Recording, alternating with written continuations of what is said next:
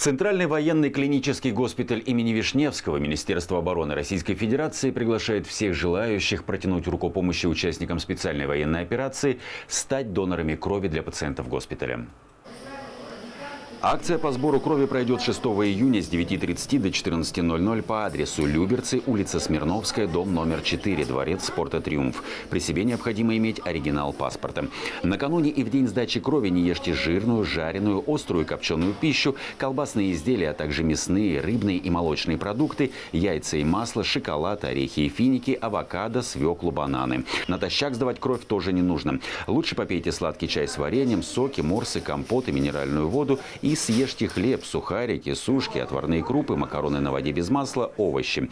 За 48 часов до визита в учреждение службы крови нельзя употреблять алкоголь, а за 72 часа принимать лекарства, содержащие аспирин и анальгетики. Также за час до процедуры следует воздержаться от курения. Всех, готовых принять участие в акции, просят направить до 17.00 5 июня на электронную почту фамилию, имя, отчество и телефон донора. Напомню, что донорам крови положена компенсационная выплата и дополнительный оплачиваемый выходной день.